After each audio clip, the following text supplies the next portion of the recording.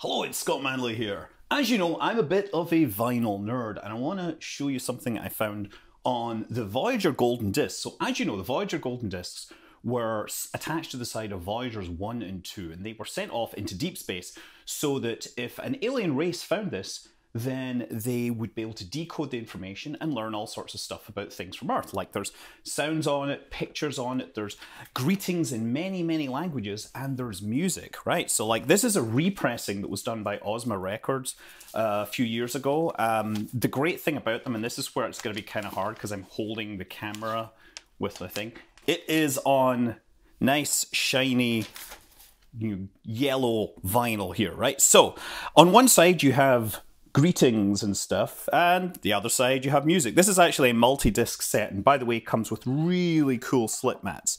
So, sure enough, if I set this up, I can just put my record on, and we get some classical music, you know, sounds from Earth. This is what Carl Sagan wanted to communicate. It was a little project they put together. Now, the thing is, these were made from pressings that were made back in the 70s, and it's just come to light that there's something special on here that hasn't been found. Right? And to find this, it's kind of weird. What you have to be able to do is play from the inside groove out, right? And you can't normally do that. If you go to the end, it just sort of sits there and does nothing.